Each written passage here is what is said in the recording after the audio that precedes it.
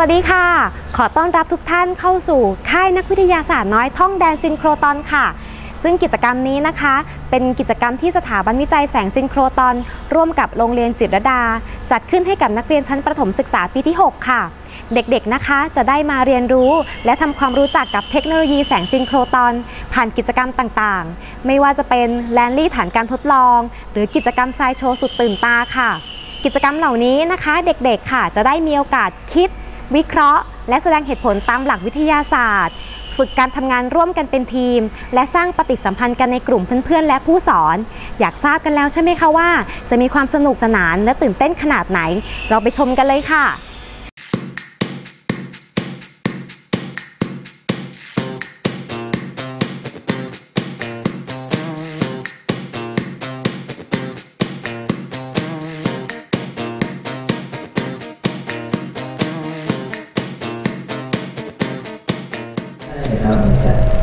ค่ะสำหรับกิจกรรมในห้องนี้นะคะ ตอนนี้ก็จะเป็นภาคการบรรยายค่ะ เรื่องเทคโนโลยีแสงสีเสียงนะคะโดยดรประกบคายสมบัติค่ะ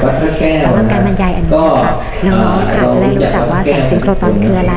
กำเนิดขึ้นมาได้อย่างไรแล้วก็นำไปใช้ประโยชน์ได้อย่างไรบ้างนะคะ ซึ่งก็จะเห็นว่าน้องๆค่ะให้ความสนใจเป็นอย่างมากค่ะ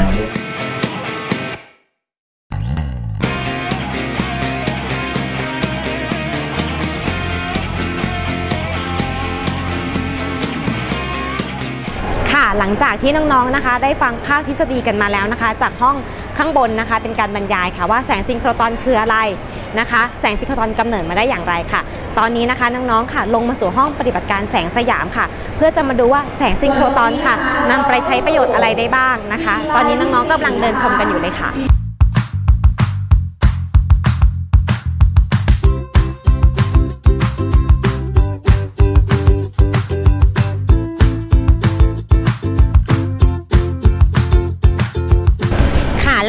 โก้นี้ค่ะ วงกักเก็บอิเล็กตรอนค่ะ มุมนี้นะคะไม่ได้มีใครที่จะขึ้นมาเห็นได้ง่าย ๆนะคะ วันนี้ถือเป็นโอกาสที่ดีมากค่ะ ที่น้องๆโรงเรียนจิตรลดานะคะ ได้เข้ามาเห็นมุมบนของวงกักเก็บอิเล็กตรอนของเครื่องกำเนิดแสงซิงโครตอนค่ะ นี่เลย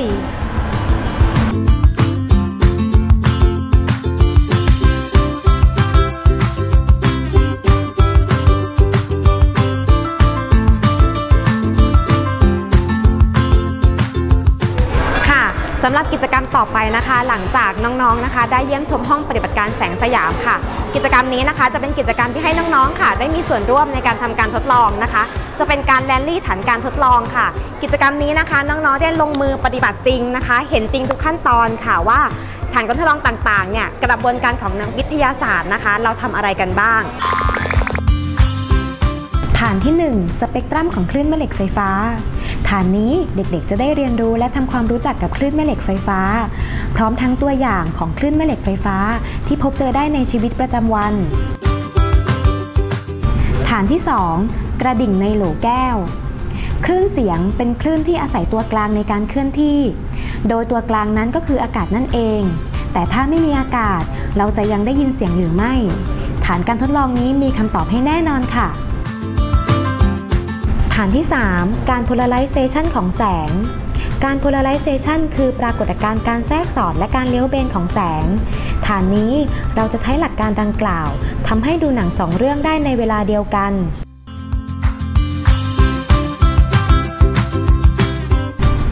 ฐานที่ 4 เครื่องเปลี่ยนทรงผมสุดแนว เครื่องสร้างสับไฟฟ้าฟันเตกราฟเครื่องนี้จะใช้สายพานของเครื่องทำให้ประจุลบไปสะสมที่ฐานด้านล่าง ด้านบนจึงเต็มไปด้วยประจุบวก รวมทั้งตัวของผู้ทำการทดลอง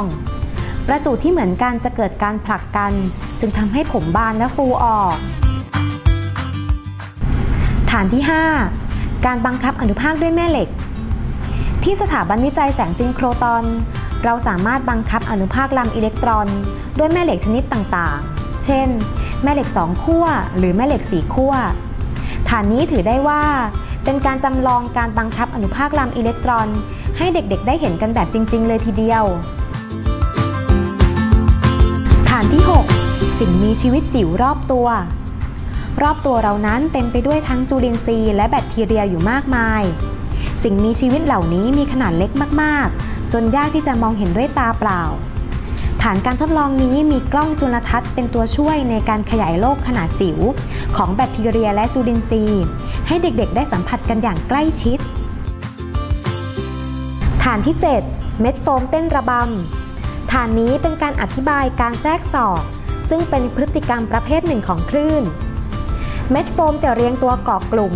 กันตามการเสริมและการหักล้างของคลื่นเสียง ถ้าความถี่หรือความดังเปลี่ยนไป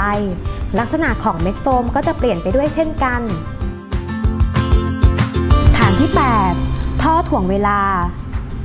เมื่อปล่อยก้อนแม่เหล็กลงไปในท่อทองแดง จะเห็นว่าการตกของก้อนแม่เหล็กเปลี่ยนแปลงไป เหตุการณ์นี้เราสามารถใช้หลักการ การเหนี่ยวนำแม่เหล็กไฟฟ้าของฟาราเดย์และกฎของเลนส์มาช่วยอธิบายได้ ฐานที่ 9 นิทรรศการภาพสะท้อน มนุษย์เรามองเห็นสิ่งต่างๆ ได้เมื่อมีแสงมาตกกระทบวัตถุ และสะท้อนเข้าสู่ตา ฐานนี้เด็กๆจะได้เรียนรู้การสะท้อนของแสง ผ่านกระจกในรูปแบบต่างๆ ไม่ว่าจะเป็นกระจกนูน กระจกเว้า หรือกระจกแบนราบ ฐานที่ 10 ยาสีฟันช้าง แน่นอนนี่ไม่ใช่การผลิตยาสีฟันให้กับช้างจริง ๆ แต่ฐานนี้เด็กๆจะได้เรียนรู้ เรื่องของการเกิดปฏิกิริยาเคมี และตัวเร่งปฏิกิริยา และน้องๆรู้หรือไม่ สารในน้ำลาย หรือที่เราเรียกว่าเอนไซม์นี่ก็เป็นตัวเร่งปฏิกิริยาเช่นกัน ในช่วงบ่ายเราได้รับเกียรติจากดรบัญชาธนบุญสมบัติ นักสื่อสารวิทยาศาสตร์ชื่อดัง ที่มาบอกเล่าเรื่องราว คลื่นความโน้มถ่วง ในแบบฉบับของเยาวชน ให้เด็กๆ ได้เข้าใจอย่างง่ายๆเล่มแรกที่ทำให้ครูเรียนเสร็จคืออะไรรู้ไหม กฎทางฟิสิกส์และทฤษฎีสมรรถภาพ แล้วจะบอกอยู่ว่าไม่รู้เรื่องเลย แต่แต่แต่มันน่าแปลกใจมากเลยจริงเหรอเดินทางเวลาได้เหรอของหดจริงเหรอมวลการพลังงานได้เหรออย่างเงี้ยแล้วก็ฝังใจมานานมากนะครับก็เป็นหนึ่งในแรงที่ทำให้ครูกลายเป็นนักวิทยาศาสตร์ในวันหนึ่ง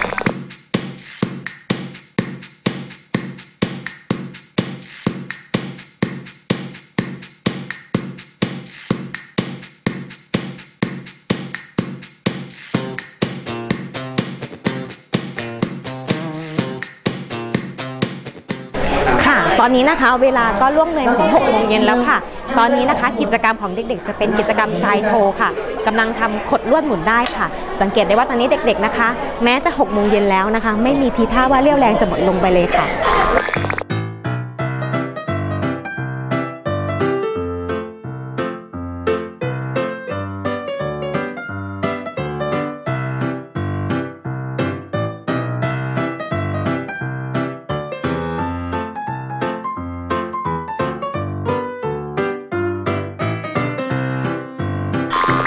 ขอขอบพระคุณคณะวิทยากรทุกท่านที่จัดกิจกรรมให้พวกหนูวันนี้ หนูได้รับความสนุกมากค่ะ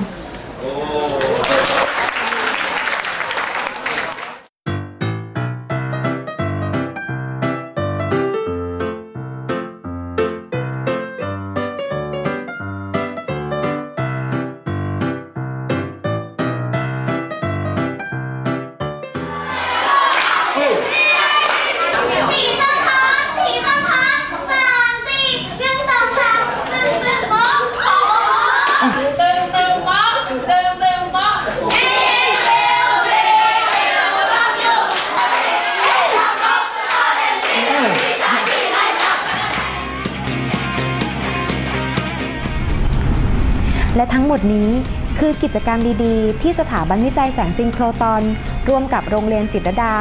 จัดขึ้นให้กับนักเรียนชั้นประถมศึกษาระดับปีที่ 6 เพื่อสร้างแรงบันดาลใจแก่เยาวชน ให้เห็นถึงความสำคัญของวิทยาศาสตร์และเทคโนโลยี ต่อการพัฒนาประเทศต่อไป